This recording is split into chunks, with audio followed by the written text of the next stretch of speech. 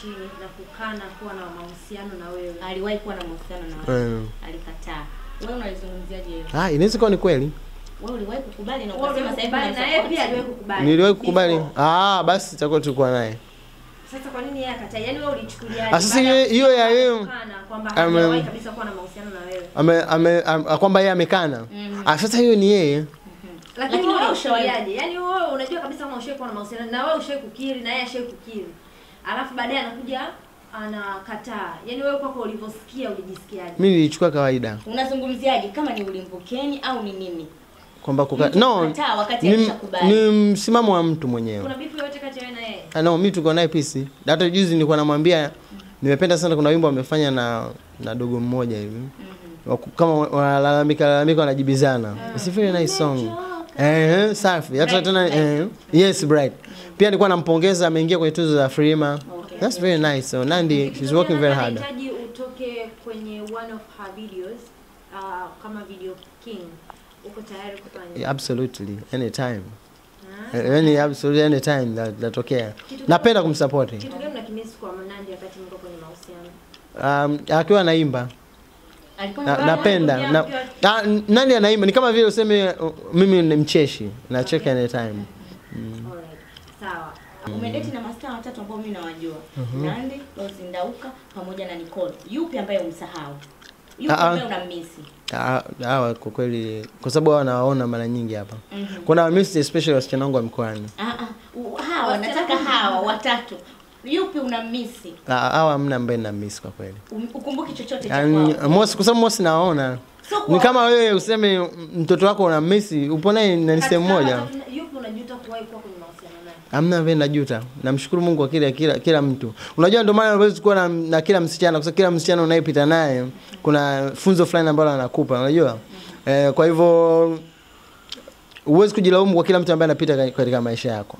Kuna kitu kizuri ambacho anaadi na kuna kitu kizuri ambacho unamwachia haya mengine yanayotokea ni mipango ya Mungu Uh, ni ex wako gani ambaye hutomsahau?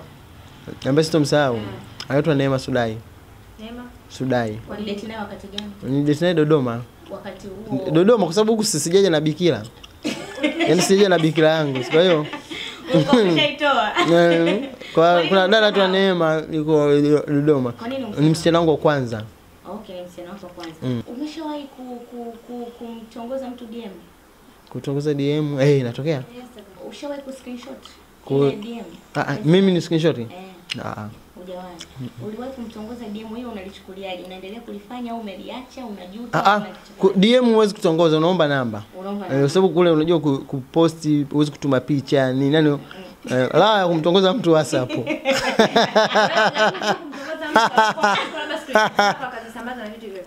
mda sijaje kutokea. Mm, kwa sababu gani? Kwa sababu unajua hadi iki- ishafikia kwenye tongozo imeshafikia mbali sana. Mhm. Mm, lakini mara nyingi niki kama mtu niki nikimuona au nikaenda DM mara nyingi huwa napenda kuchukua namba. Unachukua namba na nampigia simu kama labda tutatu onani, nini? Wewe ni fundi sana hiyo kitu. Fundi? Wa DM, ku DM. Ah ah, ku DM hata wewe unaweza. Wewe huwezi kuingia DM, si ni Instagram ile. DM wasichana lazima. ah no, hapana. Mimi ni, ni fundi wa wasichana wenyewe ukiwa unaona. Ah, Ni Ah, rahisi zaidi ya uko vizuri. Mm, uka- ukaa naye ongea naye msichana kama unajua njia nzuri ya msichana kama unataka kuongea naye Mm. kaa naye pata naye muda mwite sehemu chukua vinywaji muangalie kwa sababu kuna vitu anaweza kaa najibu kwenye simu ambavyo huwezi kuvielewa mpaka mkiwa mnaongea mnaangalia na machoni Mm. Umeshakuwa na mastaa wawili watatu ambao wanajulikana, lakini watu wengi wanaonekana kuvutiwa na kapo ya wewe na Nicole sana. Mm. Hiyo inaathiri vipi mahusiano yako mapya uliokuwa nayo, yaani mahusiano yoyote ambayo uko nayo mbali na, na kuwa na Nicole? Ah, hiyo zamani nafikiri kwa sasa hivi hai- hai- haiathiri sana kwa, kwa, za- ila zamani watu wengi walikuwa na unaulizia ulizia sana ni watu wameelewa. Watu wameelewa ni kama vile watu wengi walikuwa wanapenda sana Diamond awe na Wema Mm. lakini ni- unakuta ni mipango ya wanadamu ila Mungu anamjua. Unahisi ni wife material? Sijajua, sijaona naye muda mrefu kidogo. Hapana, kwa hicho kipindi ambacho ulikuwa naye. Kwa kipindi kile, Yes. yaani sijajua. Kipindi kile unajua nilikuwa naye kwenye special urafiki, sikuwa nime- nime- naye kwa muda mwingi sana. Ni kitu kama miezi mitatu. Niliona ni msichana mzuri. Kwa hiyo kama atapata mtu um, au ana mtu, mimi I'm very proud of that guy.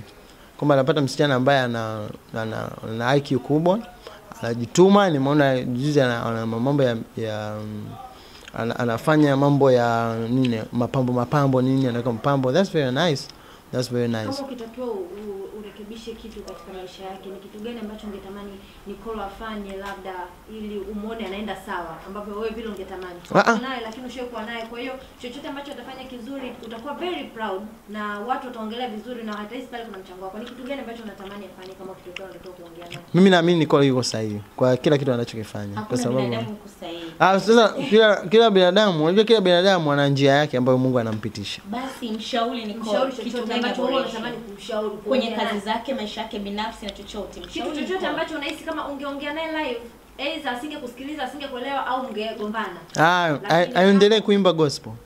Aendelee yeah, naona anaimba anaimba gospel ana sauti nzuri. Ana sauti nzuri. Mm, kwa hivyo aweke energy zaidi tu. Yani, anaimba of course ana nyimbo zake kadhaa lakini aweke nguvu yake zaidi atafanya vizuri. Umeona? Ikitokea nitamsupport absolutely. Kama ambavyo nilikwambia kwa Nandi itatokea kwenye video. Nilikuwa nataka nimsupport nitamsupport vizuri tu Kwenye mitandao ya kijamii siku moja nimeona Nicole, kuna mtu amecomment akasema mtoto ni wa kwako, yeye kama akamjibu yani kama anauliza wewe Priscilla ni yes, nani eh, Yani- yani like hakufahamu una bifu kati ya wewe na Nicole. hapana labda siku hiyo alikuwa ame- ameamka unajua unaweza ukaamka siku ukawa unasahau baadhi ya watu na nini kwa hivyo sitaki kumjaji lakini nafikiri siku ya kuamka vizuri labda Ah ah.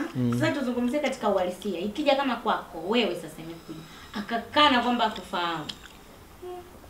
Ah, ah, kwa sababu sasa hivi hayupo kwenye leni unajua ya maisha yangu kwa sio rahisi ku kumuulizia.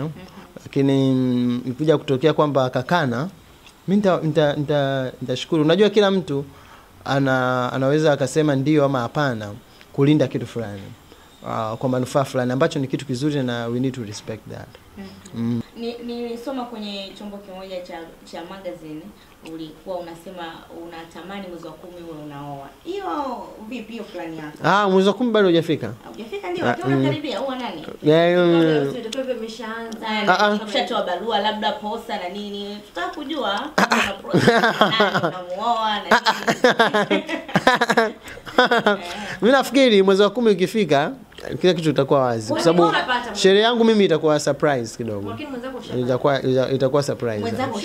Mm. Ushapata. Eh. Ushatoa barua?